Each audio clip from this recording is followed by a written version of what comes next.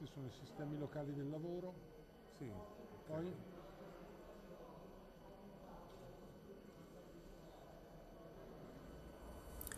Una fotografia dell'agronocerino sarnese, quella tratteggiata dallo studio del Cresme, la società individuata dalla regione Campania per supportare il master plan dell'agronocerino sarnese, illustrata ai sindaci presenti assenti al comune di Scafati e dall'assessore regionale Bruno Discepolo che ha esortato gli amministratori locali a continuare sulla strada della coesione istituzionale che si trasformerà in coesione anche sociale, unica strada per garantire un futuro di sviluppo sfruttando la nuova grande opportunità che consente consentirà di intercettare risorse europee per la realizzazione di progetti finalizzati alla risoluzione delle problematiche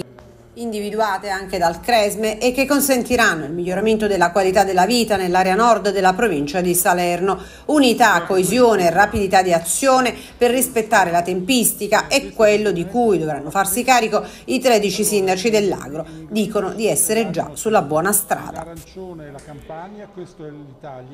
Mm, a dire il vero c'è una sinergia tra i sindaci e tra i territori davvero eh, impressionante, lo vediamo anche su tante misure su tante iniziative. Poi questa è un'opportunità, un'opportunità che questo territorio non può perdere sia in termini di Regione Campania per un governatore che sta impiegando tanto qui, ma anche in termini di recovery fund e tutto quello che i fondi di coesione e tutto il momento che è un momento particolare sicuramente sarà opportuno farci trovare appunto pronti. Uh, emerge, emerge chiarissima l'emergenza sociale dei nostri territori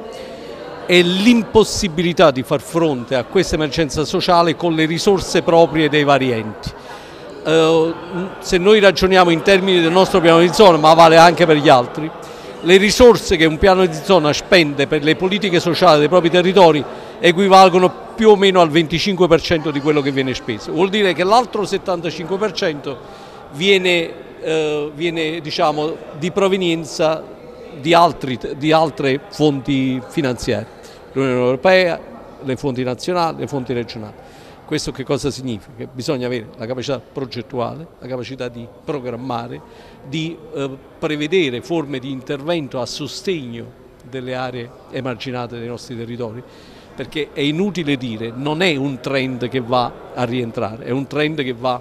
diciamo, ad allargarsi. Io credo di avere buona memoria storica di quello che spendevano i piani di zona nel 2011, 2012, 2013 quando io sono arrivato a fare il sito che è quello che spendono oggi i piani di zona. Quello che viene fuori dallo studio fatto dal Cresme che è stato presentato oggi come atto come dire, preliminare al lavoro che dobbiamo fare è sicuramente prioritario, eh, viene fuori che siamo una vera e propria area metropolitana, una vera e propria città metropolitana, l'agroncino sarnese, eh, anche lo studio dei flussi demografici è praticamente esattamente lo stesso per ogni comune, a parte piccolissime differenze, ma sostanzialmente l'aspetto sociologico, economico è lo stesso